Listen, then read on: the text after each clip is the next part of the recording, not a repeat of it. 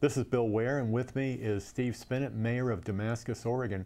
Uh, Steve, tell me a little bit about the town halls out there in, in, Damascus. Is that a great way for citizens to connect? It's a very great way. It's it's um, we have a, a, committee called the Committee for Citizen Involvement. It's a seven-member committee that their job is to get get people involved in the city and get the word out. And they're always uh, I'm a liaison, I'm a council liaison to the mm -hmm. committee, so I go to most of them.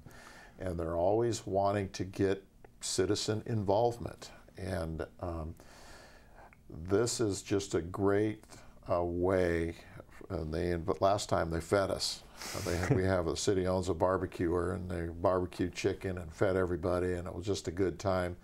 Um, and and I, the way to find out about it really is to look at this on the city website. The easiest way for the Damascus City websites, just Google Damascus, Oregon, and the city websites at the top. Click on that. On the bottom right, they'll have the schedule.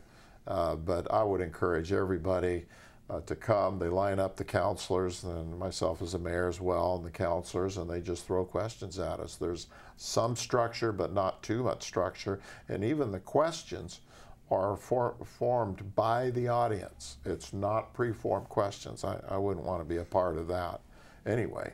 But it's done. We have a professional facilitator who is a, a citizen in Damascus too, but she does an excellent job.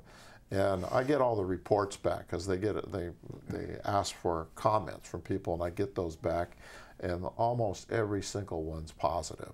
And also the, uh, in that random survey that we've done in Damascus recently, um, the survey person uh, from the company said that Damascus is a very involved community.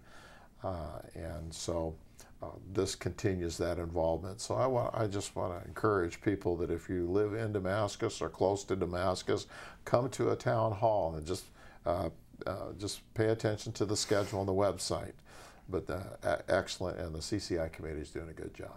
Thanks.